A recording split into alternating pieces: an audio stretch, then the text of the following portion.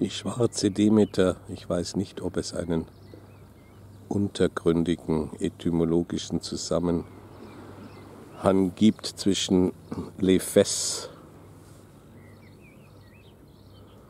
und die Fesseln und das Gefesseltwerden durch die Les Fesses.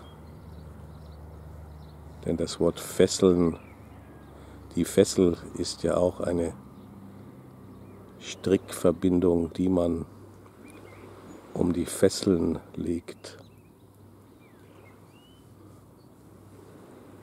um das Tier zu bewegungsunfähig zu machen. Die unteren Fesseln oder die oberen Handgelenke